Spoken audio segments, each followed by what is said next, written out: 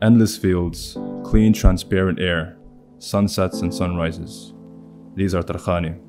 Here, for the first time, the quiet charm of hilly steppes, country roads, and light birch copses opened up to Lermontov's child's gaze. Tarkhani is the country of Lermontov's childhood. This is the place where the character and the worldview of Lermontov, or his outlook, began to form. Everything that Lermontov saw in Tarkhani, everything that surrounded him, was then rethought and reflected in his creative works.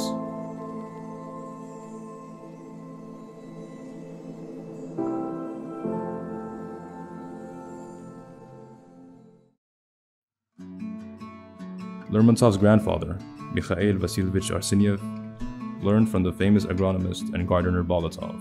Therefore, this estate was built according to all the rules of architecture and landscaping of that time.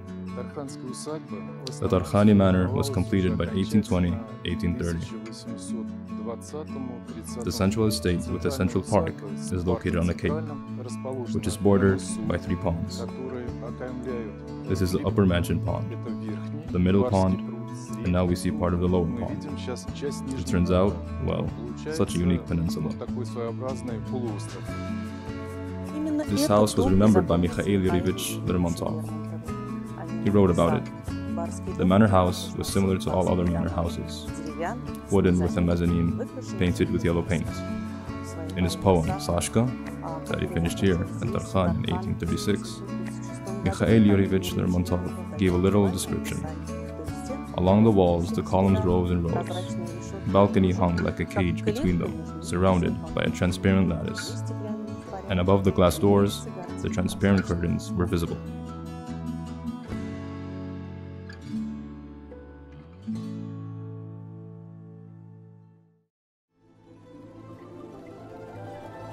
The people of the 19th century were people of faith. Faith united them. There was a separate prayer room in the manor house. Here, before the icons and faces of saints, all of them bent their knees. The owners of the house were the Lermontovs and the yard peasants who served this manor house. Next to the figurative room was a room for servants. As the old-timers said, the courtyard girls affectionately met little Lermontov, sang songs to him. They told him the tales about the Volga robbers and the Don Cossacks.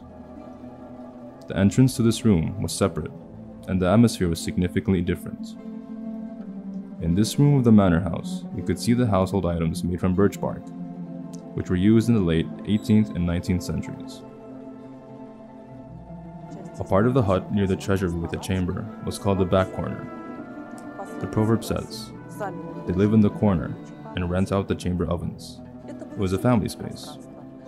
There was a chest here, and a cradle was hung on the achap. Achap is a stave, usually made from birch. It symbolized the way that the newborn came into this world.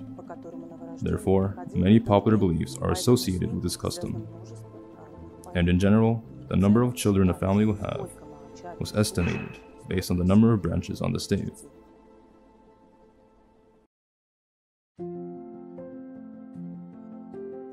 The name Tarkhani was given to the village by the craft peasants living here. Earning on quit rent, they peddled, reselling what they acquired at auctions and fairs.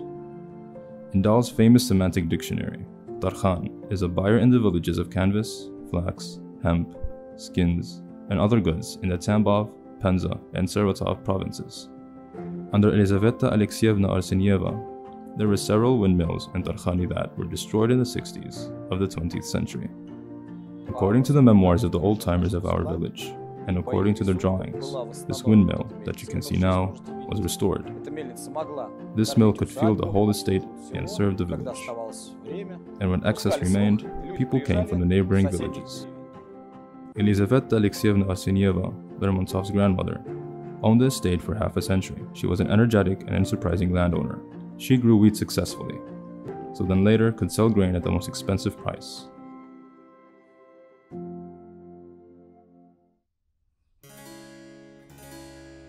The heyday of the construction of estates began under Catherine II with the issuance of the Nobility Freedom Decree.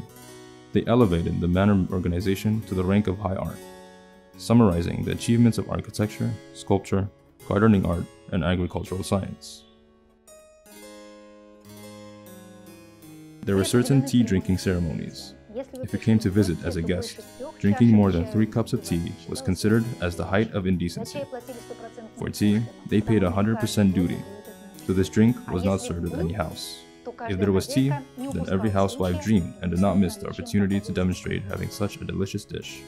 The tea was kept under lock and with a key, in glassware, and for a very long time they tried to get used to drinking it properly. One of the estate landowners decided to show off the presence of such an exquisite dish. And when she appeared on the threshold of the tea room with a large dish, black grains were scattered all over it. The following text was pronounced. Well, I won't it anymore. I washed it six times, but the water is still black. And with these black grains, she fed the guests, but they did not understand why the people are paying so much money for it. The Chinese, having seen our love for tea, will begin to exchange it for our famous furs.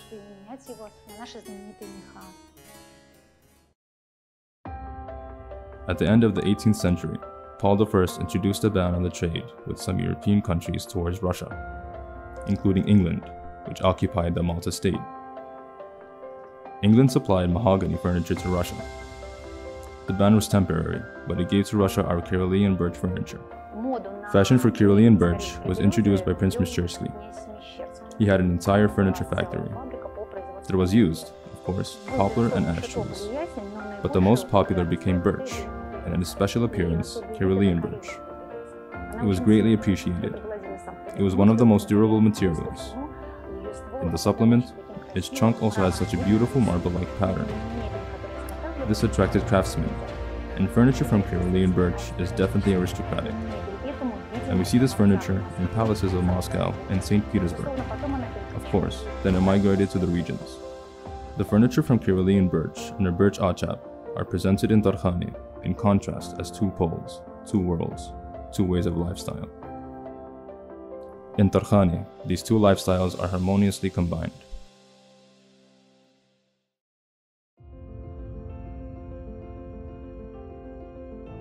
Lermontov's second cousin, Akim Shangirai, noted that Lermontov was very fortunately gifted with artistic talent. One of these talents or facets of his talent is the ability to draw. It should be noted that Lermontov was not professionally engaged in painting and graphics, but in a short life of 26 years old, he created 450 drawings, 51 watercolors, and 13 oil paintings. The couple of whitening birches is the image of the motherland for Lermontov, his image of Tarkhani, the image of everything close to his heart and so much value that connected him with his place. Tarkhani is not his mother who gave birth to him, but the mother who raised and cherished him. The first image of his motherland is Tarkhani, then it's Russia but the small homeland is Tarkhani. This is a small river, Meraraika, a yellowing field and a raspberry plum, and the silver lily of the valley, and a couple of whitening birches on the hill. These are Tarkhani.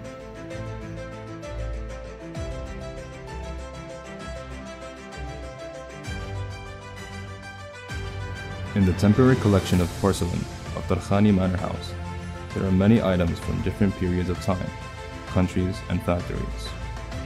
It is remarkable that in Tarkhani collection there are many pieces of blue porcelain, which harmonizes well with the color of our Lermontov collection. If we talk about the color scheme that was used in the project for Tarkhani, there are three colors, white, blue, and one of the shades of gold. This is the color of birch bark.